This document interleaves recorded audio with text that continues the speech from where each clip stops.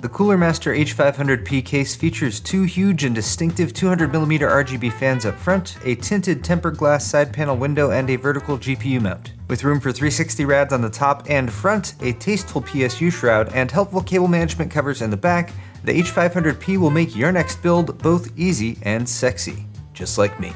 Click the link in the description for more. Excellent! Hey guys, welcome back to Paul's Hardware. Today's video is my follow-up to my entry-level Threadripper build. This system all put together with current pricing costs about $1,850, so I know that's expensive for entry-level, but we're talking about Threadripper here. We're talking about a high-end desktop computer, and uh, the CPU at the heart of this system is the AMD Threadripper 1900X, which is an 8-core, 16-thread processor and it is the cheapest CPU that you can purchase to get yourself into this platform. And my advice to people uh, who are looking to build something like this is consider that CPU as an entry level point and then possibly upgrading to the 12 core 1920X or the 16 core 1950X. And who knows, maybe AMD will release even higher core count CPUs on this platform in the future. We're not really sure. I know nothing about that, by the way. I'm just speculating. But uh, first off, a quick rundown of the parts that's installed, and then I'm gonna go through the setup process and we're gonna do some testing on the system to give you guys a better idea of the performance. Now, first off, I have swapped two parts out of this from the build that uh, was published last week, and uh, that's linked in the description if you guys want to check it out. First thing is going to be our graphics card. I originally installed an NVIDIA Founders Edition GTX 1070 Ti, and that has been swapped for the Zotac mini version of the 1070 Ti. It's basically the same design as their GTX 1070 Mini from Zotac, a two-fan design, and a fairly short overall design. The PCB is only about 7 inches long and the entire card is only about 8.5 inches long. So that actually gives us a little bit more breathing room towards the front of this system uh, where the CPU cooler is. Uh, and I swapped that out last night, and actually the Zotac logo lights up in white, which max, matches a little bit better with the white logo lighting up on our CPU cooler. CPU cooler is the Enermax Liquimax Threadripper edition, the 240 millimeter version of that. Uh, substantial 240 millimeter alum aluminum all-in-one liquid cooler in the front. Uh, some very nice clean looking uh, tubing on there as well. And uh, that is already keeping the CPU very cool, uh, although we're gonna test that a little bit further in just a moment here. Our motherboard is the ASRock X399 Taichi, which uh, at 330-ish dollars is, again, still entry level when it comes to Threadripper. The motherboards tend to be fairly expensive, although it is a very, very nice motherboard from the testing I've done so far. Uh, it's got all the stuff you'd want it, like a debug LED, surface mounted power and reset buttons, uh, eight DDR4 DIMM slots for lots of memory, uh, and even a little bit of RGB LED on there, although it is subtle. It's just uh, lighting up blue right now and I haven't installed the software yet to, to uh, play with that. The memory is a G.Skill kit, and what I actually installed in here in the build originally was a 32 gig kit. This is actually back to a 16 gig kit, G.Skill, 16 gigs, 4x4, DDR4. It is DDR4 3200 speed, and actually that is uh, one of the things that I have not set up. I've set up most of the stuff on the system yet, but the memory is still at 2133, so I need to go and set that up. Beyond that, the rest of the hardware is registering in the operating system. So of course we got our 2900X here, X299 Taichi motherboard. There is our memory, the graphics card showing up here as well. And um, if you're looking at the actual speeds here for the uh, 1070 Ti, they are locked as far as the speeds from the manufacturer. You can overclock this if you want to yourself. I'm gonna be running it at the stock speeds today just to show you guys what you get coming out of the box with this, uh, but it's got a base clock of 1607 and a boost of 1683. We'll see how much higher it gets beyond that.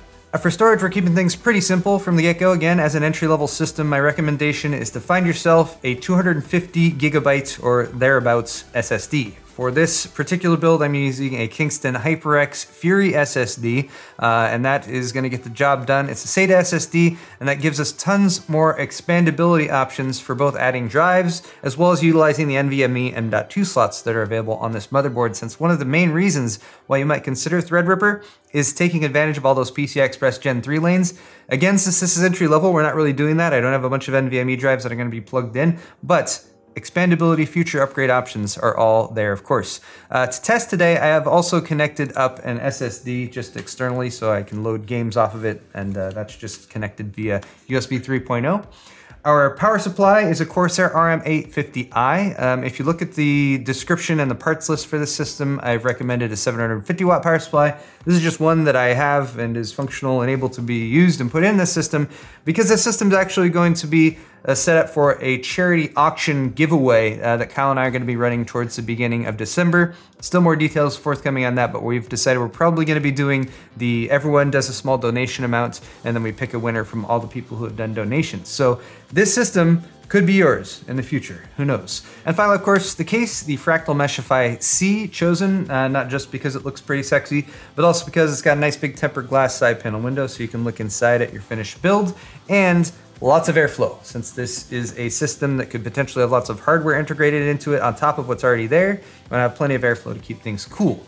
Now, speaking of airflow, that was actually one of the first things that I needed to do with this system. Well, technically the first thing was updating the BIOS. I did that when on the X399 Taichi motherboard. First off, because the BIOS it shipped with was a very early revision. In fact, the revision I had wasn't even available for download on their website. But I've updated now to version 1.7. That is the version that has support for NVMe RAID on this platform as well, which is a really nice other nice feature of the Threadripper platform. You can take multiple devices that are NVMe connected, RAID them up, and even make them bootable. I haven't gotten into testing that either yet. Hopefully I will soon. But the trade-off there is that I have a really nice CPU cooler here from Enermax, and that has already been keeping the CPU temperature super chilly. In Hardware Info 64, you can see the actual freak temperature, and then you can see the offset temperature as well. So uh, I haven't run a, a, load test on this, but we're gonna do that in just a second. But we can already see we're idling down in the 28 to 29 degrees Celsius range. Transition. All right, I don't know if you guys can tell, but uh, I've changed some things here. Basically, I was getting the memory set up and I had everything configured, and all I had to do was go into the UEFI and actually set the XMP settings for my memory, which I had uh, switched over to this Ripjaws 5 kit from G.Skill. All the memory I'm using in the testing today is from G.Skill, but not all memory is made the same. And since Ryzen likes faster memory, I recommend typically trying to hit that 2933 memory divider if you can't get up to 3200. Uh, but that will get you better performance, uh, single threaded performance, better gaming performance out of Ryzen processors, both on the mainstream side as well as talking about Threadripper here. So when I discovered that this kit was amongst the memory kits that I had, I was excited because it's uh, the speed is 3200, DDR4 3200, CAS latency 16, uh, pretty tight timings, not not the tightest, but uh, pretty good. However, could just could not get it to, to post at all. Trying to run it the XMP settings, 3200. Uh, little quirk to the UEFI here from ASRock. You actually have to go in and tell it to use XMP settings, and then you can go and, and change the actual memory speed if you want it.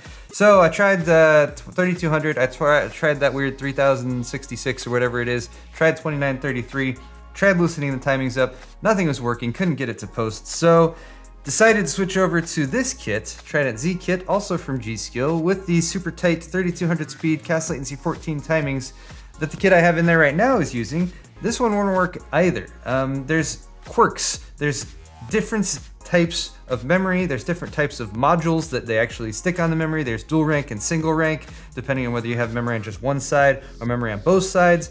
All these things can affect compatibility with Ryzen platforms. So all this is to say, I have been spoiled so far because most of the memory I've tried with Ryzen has been pretty successful for me. But if you run into this issue, the solution is going to be the motherboard's manufacturer's website.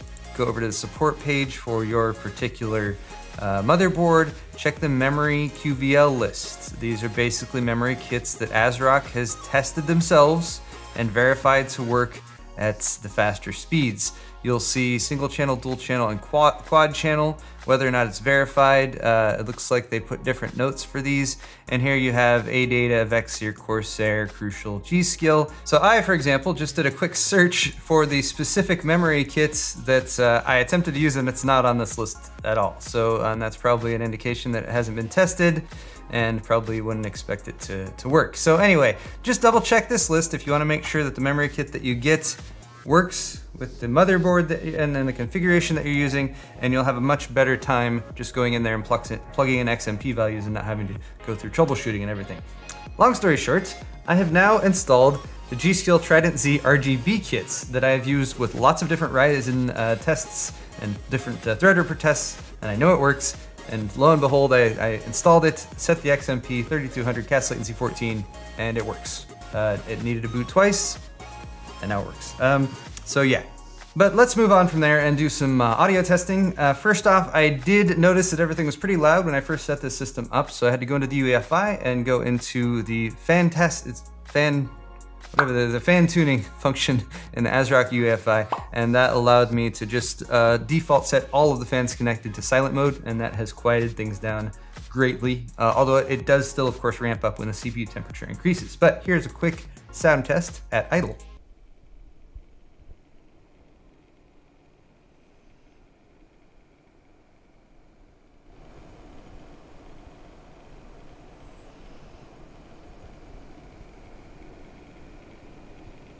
That's not the quietest, but it's not too bad at all. Now let's try a burn test. I'm gonna run Unigine Heaven 4.0 as well as the AIDA64 burn test at the same time and let it run about 15 minutes and then let's see what it sounds like.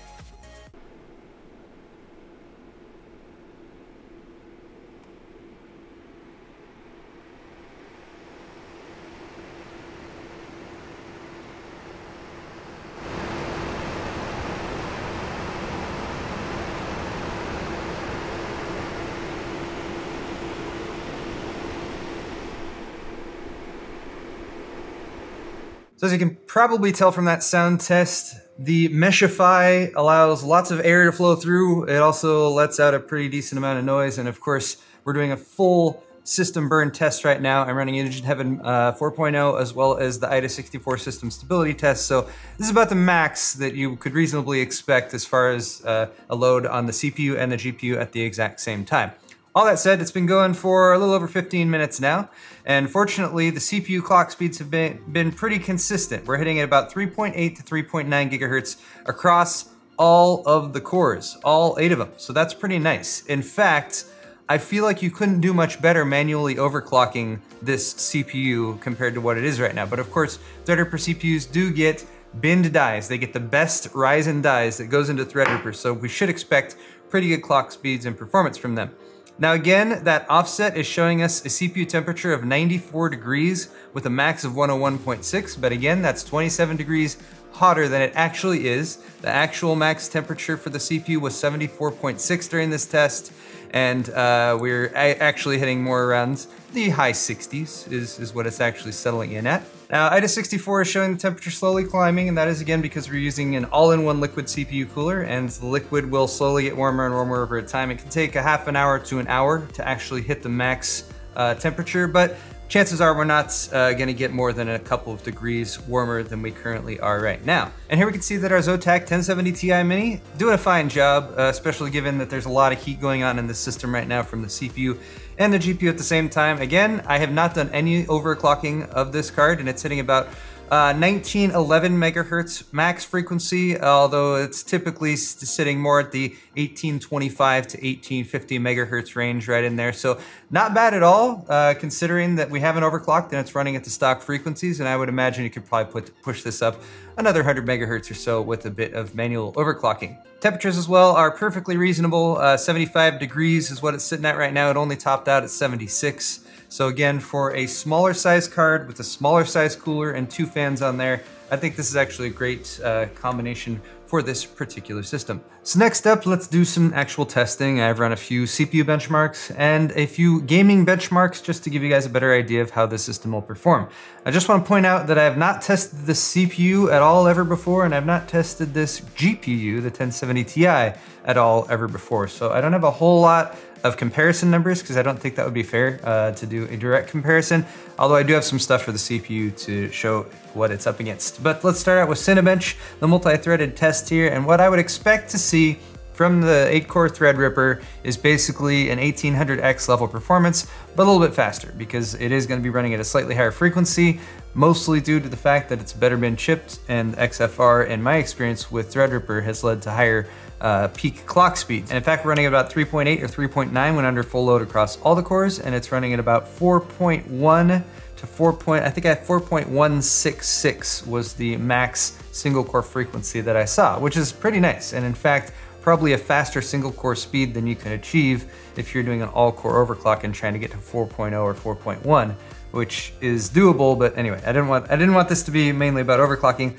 Let's look at the numbers. Cinebench is up first, of course, and I do have some comparison numbers for this. 1743 was our multi-threaded score. That is uh, just a little bit, uh, just a little over 100 points faster than our R7 1800X, which hit 1644. Single threaded performance hit 167. And here, if you're looking at some of the Intel comparisons, of course, they do have a better single core performance. However, 167 is, again, a few points higher than our 1800X, which scored 160. For CPU mark, our overall score was 17,913, a very respectable score. And in fact, faster than most of the mainstream stuff that I, or pretty much all the mainstream stuff I've tested, which makes sense, faster than 1800X, and you really have to go up to something like a 1950X or a 1920X on the AMD side, or something like a 7960X or 7980XE on the Intel enthusiast platform in order to get higher than that. Single thread performance still holding strong at just over 2000, 2096, and that again just edges out the 1800X's score of 2081. Next, I threw some Blender render tests at it, starting with Splash Fish, Fishy Cat. Remember, these are time in seconds, so a lower score is better here. 32.9 seconds was the score for the 1900X, and again, that's just a little bit faster than the 1800X's 33.6 seconds. Next is the BMW 27 render, takes a little bit more time, so 278 seconds was the score for our 1900X. Yet again, beating out the 1800X, and I will point out here also beating out the i7 8700K. Next, let's move into some gaming tests, starting off with 3D Mark Firestrike Ultra. Uh, again, not doing many comparisons here, but I want to focus on the physics tests on the CPU side. 20,449 was the 1900X's score, with a graphics score of 4710 and an overall score of 4824. My comparison numbers here, bear in mind please, we're using 1080 Ti's, so uh, the GPU score is definitely not comparable, but the physics score maybe is. And at 20,000, it did beat out all of the tests I've run currently on the mainstream platform, whether you're looking at uh, Ryzen or at Intel's Coffee Lake or Kaby Lake. Moving along to Rise of the Tomb Raider DirectX 12 test, and I'm doing the Geothermal Valley test specifically for this one. 110.2 frames per second was the average frame rate at 1920 by 1080 with a minimum of 77.9. And moving up to 1440, we had an average of 70.1 with a minimum of 58.1. And our final test, PlayerUnknown's Battlegrounds at 1920 by 1080, we had an average frame rate of 81 FPS, 0.1% low was 46 FPS, and at uh, 2560 by 1440, average frame rate was just over 60. So that's good. That's a good number to be able to hit with the 1070 Ti, 61 FPS on average and a 0.1% low of 40.5. So there you go guys, some tests on my entry-level Threadripper build coming in at the low, low price of about $1,850. Uh, I'm pretty impressed with this system overall, although of course it does come with a set of caveats like most systems do to some degree.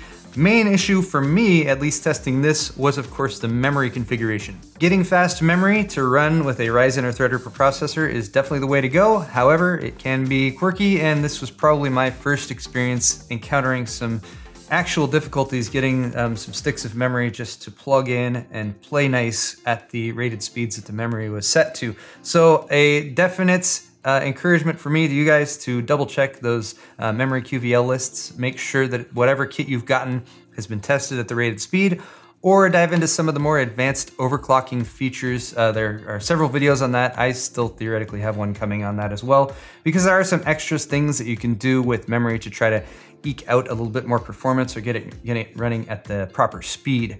For my solution, uh, it's not a very practical one for the actual intent of this build because the kit I put in there costs about twice as much, if not more than twice as much, as most of the 16 gig 4x4 kits that you can buy that are even that same rated speed.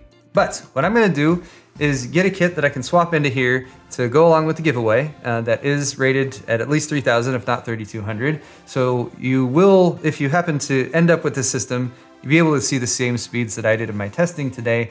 And for now uh, you know we've got the G.Skill RGB stuff in there so you know it's RGB I guess I couldn't escape RGB for this build no matter how much I tried. Other than that though uh, the case of course Nice, good airflow. Temperatures were very reasonable uh, throughout, and I like the combination of the high airflow case as well as that uh, Enermax uh, Liquimax Threadripper uh, specific cooler. Uh, I thought the GPU did a great job as well. Um, very reasonable speeds, very reasonable temperatures, uh, very reasonable noise as well, I would say, also generated from that. So if you guys are interested uh, in this build and maybe putting it together for yourself, a list of all the parts is down in the description below, so feel free to check that out. If you have any feedback for me on my testing of this system or the build in general, of course, leave those comments in the comment section as well. Thank you guys so much for watching this video. I'll be back with more very soon, so don't forget to subscribe to Paul's Hardware.